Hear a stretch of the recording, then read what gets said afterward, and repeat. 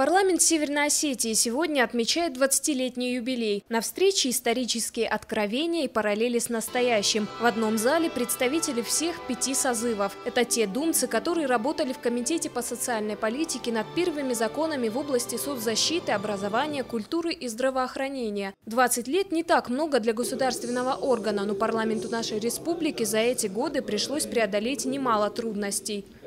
Я имею в виду развязанную в 1991 году войну против Южной Осетии, ее многолетние последствия, а затем события 2008 года. Мы пережили общенациональную трагедию в Беслане, но при поддержке всех регионов России, всего цивилизованного мира, смогли пройти через эти испытания, которые в одиночку вынести было бы крайне трудно. Парламент Северной Осетии на восьмом месте по количеству инициатив, внесенных в законодательный орган Российской Федерации. За 20-летний период принято около 2000 законов и 3000 постановлений. А в 2008 году был собран первый созыв молодежного парламента, который сейчас способствует решению проблем молодежи на законодательном уровне. Наш парламент, несмотря на то, что такой юный, можно сказать, он э, смог достичь определенно высоких результатов. Хотелось бы пожелать нашим старшим э, успехов в нелегком труде, э, потому что время тяжелое ныне в стране и в мире и желаю принятия решений, важных для нашей республики.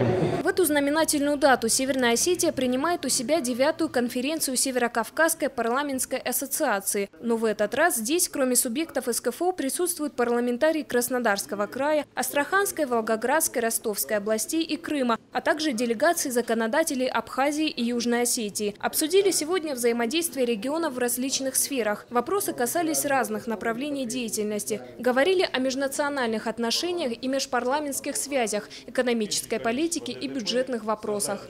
Сегодняшняя конференция мы соединили две ассоциации, Северокавказскую и Южнороссийскую.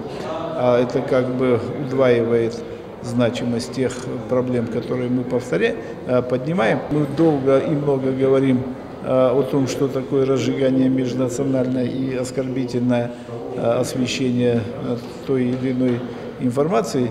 Э, коллеги предложили ужесточить вот эту э, форму наказания. Спикеры со всех регионов поддержали проект парламента Чеченской Республики о внесении изменений в статью 282 Уголовного кодекса Российской Федерации. Она предусматривает наказание за действия, направленные на возбуждение ненависти или вражды, а также на унижение достоинства человека. Если поправку примут, штраф будет составлять от 500 тысяч рублей до 1 миллиона рублей, а срок лишения свободы вырастет до 5 лет существующий уровень ответственности, в частности, в части размеров штрафов, сроков лишения свободы, в настоящее время не соответствует характеру и степени общественной опасности, указанной в деянии, не обеспечивает эффективности как наказания, так и профилактики подобных правонарушений.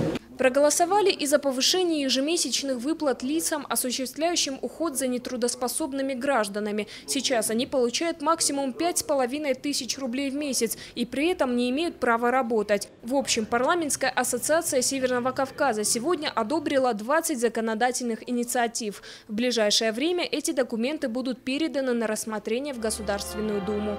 Тамила Хамицаева, Борис Супоев, Осетия ТВ.